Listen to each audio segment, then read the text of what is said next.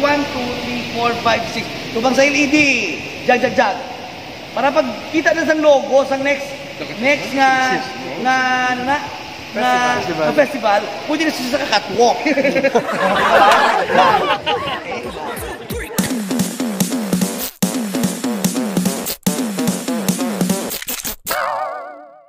Hi guys, so we're here at the Iloilo Convention Center and ongoing yung practice po ng ating mga dancers. Um, it's four days before the show. Ayan, and tinan niyo yung friend natin. Yung friend natin isa, super tired. Kasi may duty siya, call center. Tapos pag after ng out niya ng 8 o'clock, diretso naman ng rehearsal at siya nag-choreograph ng dinagyan kanina. So grabe, ang intense. Pero this is sobrang saya. Look, look, look, look, look. Tadan! Super tired.